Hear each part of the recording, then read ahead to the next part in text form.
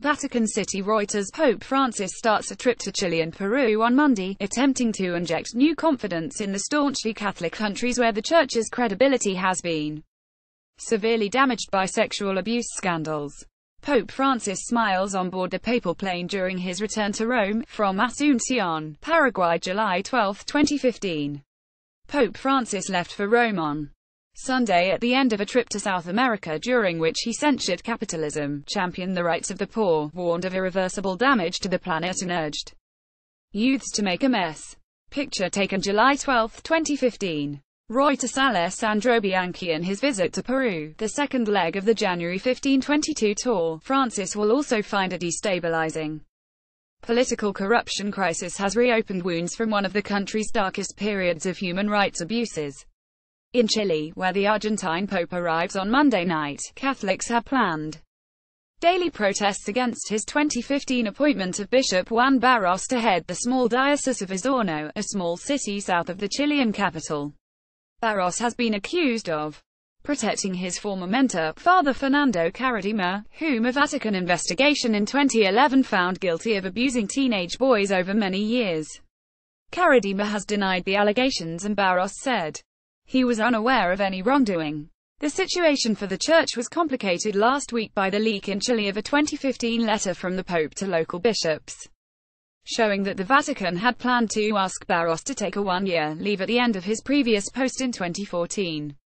That plan went awry and Barros was appointed to Osorno. The church in Chile, which during the dictatorship of Augusto Pinochet enjoyed great prestige for its courageous defense of justice and human rights, has today lost much of its credibility with public opinion, wrote papal biographer Andrea Tornielli.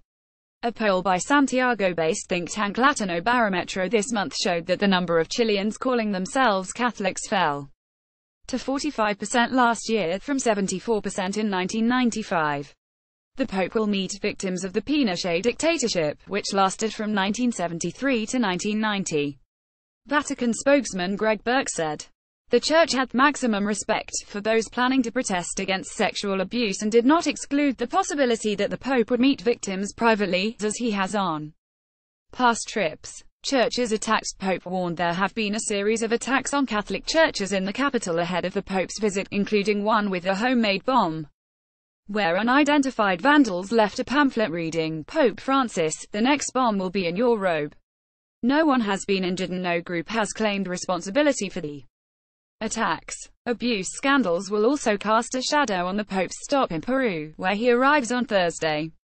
Last week Francis ordered the Vatican takeover of an elite Catholic society in Peru. The society's founder is accused of sexually and physically abusing children and former members of the group.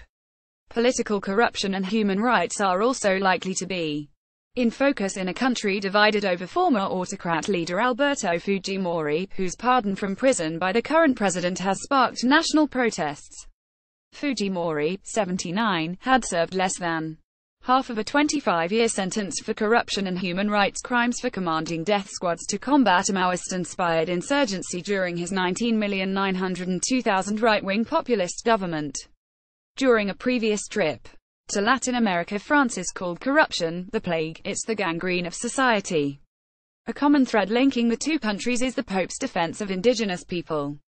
On Tuesday he flies south to Temuco in Chile's Araucanía region, home of the Mapuche, who accuse the state and private companies of taking their ancestral land, stripping it of natural resources and of using heavy-handed enforcement against their communities. President Michelle Bachelet last year asked for forgiveness from the Mapuche community for such errors and horrors. In Peru, Francis will visit the Amazonian town of Puerto Maldonado where the indigenous people including reclusive tribes that shun contact with outsiders face risks ranging from wildcat gold mining, illegal logging and drug trafficking. Their territory is increasingly being invaded, their space is becoming smaller and smaller the livelihoods with which they have survived for so many centuries are being destroyed.